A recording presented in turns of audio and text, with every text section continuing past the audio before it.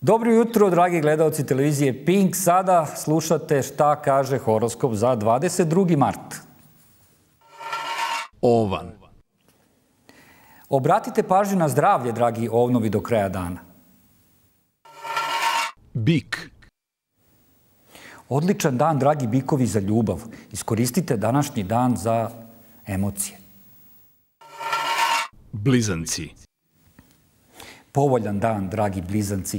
E, planirate neka putovanja. Rak. Rakovi danas imaju nekih emotivnih problema, a samim tim nešto i u toku prepodneva na poslu bit će neraspoloženi. Lav.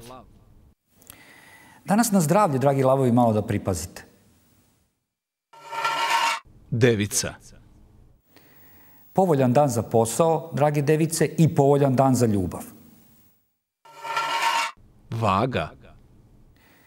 Dragi vage, pre podne nije baš povoljno za vas, ali već u popodnevnim i večernjim satima očekujte priliv pozitivne energije. Škorpija.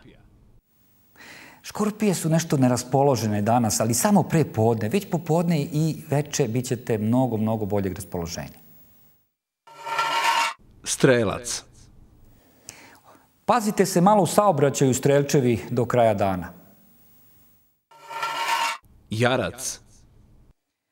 Konačno, novac koji očekujete, dragi jačevi, stiže negde u popodnevnim satima. Vodolija.